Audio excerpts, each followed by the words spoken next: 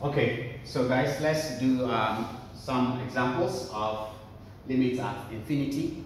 Okay, I'm going to start with some simple ones, but uh, which are very important in understanding um, the other examples that we'll be doing. Um, so let's take uh, the limit as x approaches infinity of, let's say, x, for example, right? This is just linear. And so as x becomes larger and larger in the positive direction, say x is 1, x is 2, x is 3, well, when x is 1, this will be positive, is 1. When x is 2, this will be 2. When it's 3, this is 3. As x goes to infinity, this is also getting to infinity. It's, get, it's becoming larger and larger, right? If x, x is approaching infinity means that x is getting larger and larger. Our function f of x is just x. If this is 1, x is 1. If this is 2, x is 2. If this is 1,000, if the x is approaching 1000, this is also approaching 1000, right? So as x approaches approaches positive infinity, this guy approaches positive infinity as well. So this goes to infinity, right? I mean, if you plot if you plot the the graph of y is equal to x, right? The function y equals x is just this line, right? It's a straight line. As x is getting larger, this, this is getting larger linear, it's getting bigger and bigger in the positive direction, right? In the same way, this is not in the part of this, but the limit as x approaches negative infinity of x. Okay, as x is becoming larger in the negative direction, this is becoming bigger in the negative direction as well.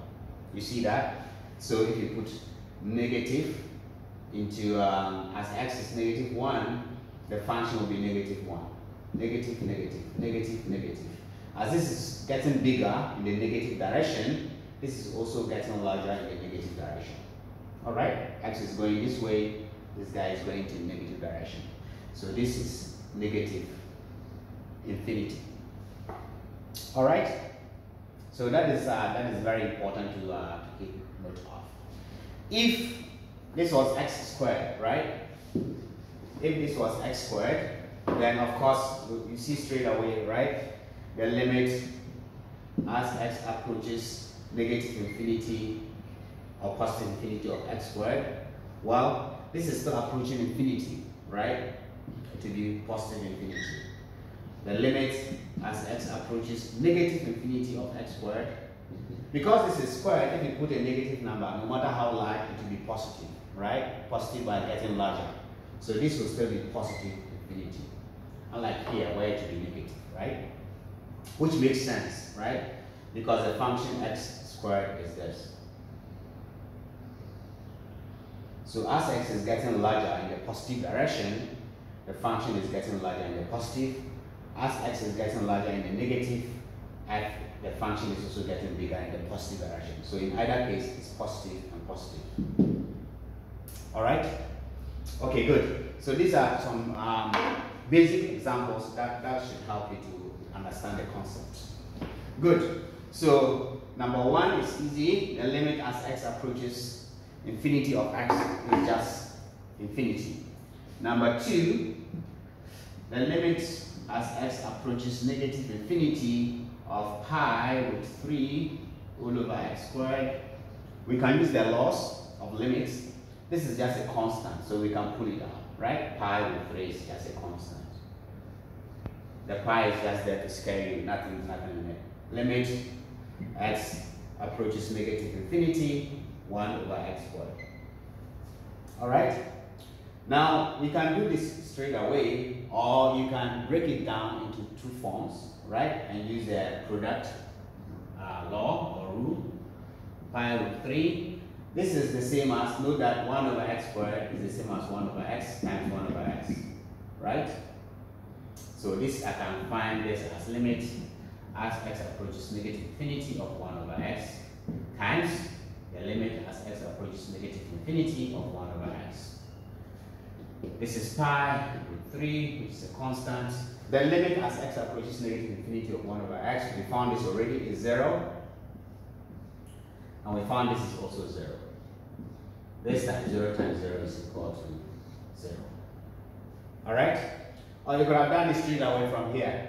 As x is getting larger, whether positive or negative, this is also getting larger.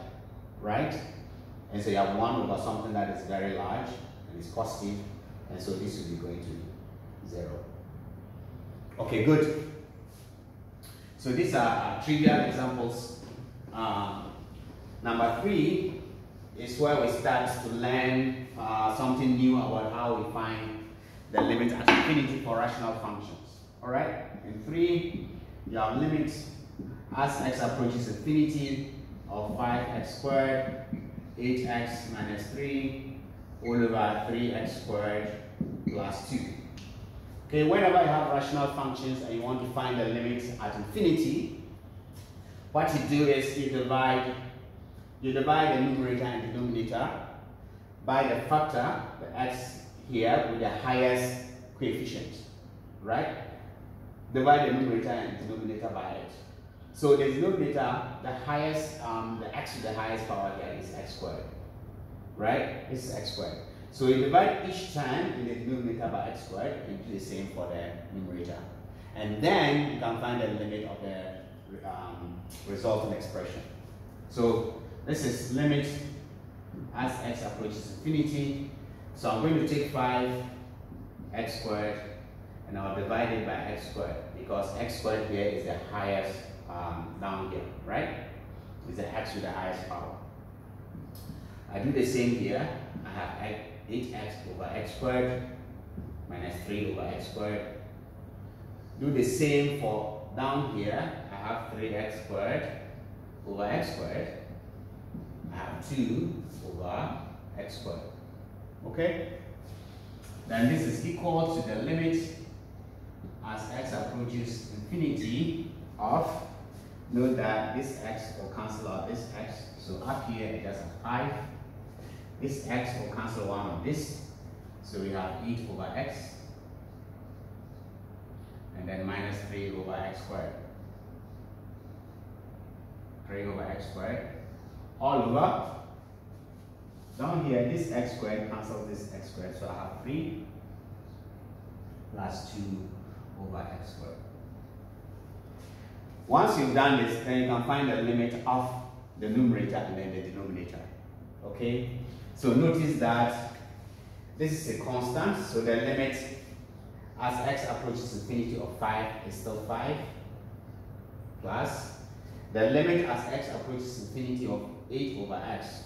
This is getting bigger and bigger. This is a constant, so this goes to 0 and that also goes to 0. So you have 0 and then 0. Okay? This is a constant, and so this remains as a constant plus the limit as x goes to infinity of this is 0. 2 over something that is getting bigger and bigger. That is 0.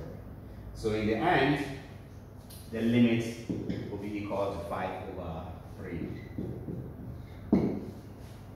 Okay? 5 over 3. So that's the limit of this. So you use this technique a lot when you, when you have rational functions of this form.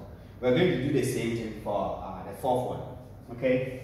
Same technique. So in the fourth one, we have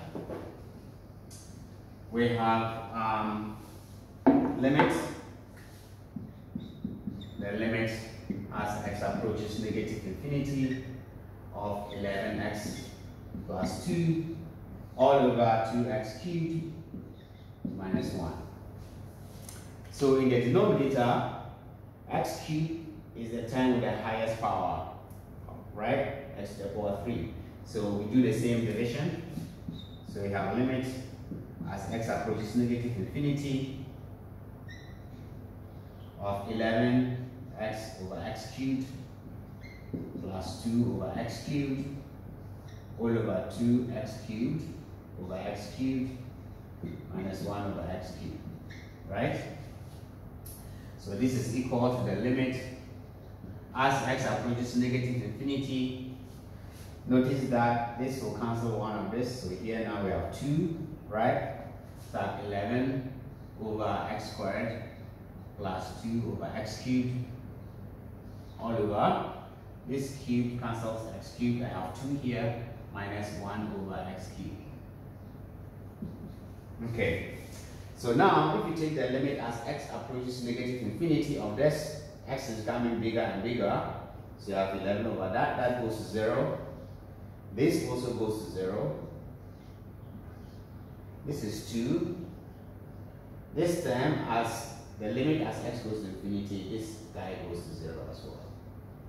So you have 0, 0 over 2, which is equal to 0.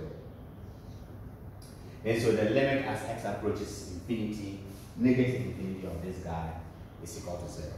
Okay? So in the next section, I'll write a few more examples and then we'll do, we'll do some more examples on this.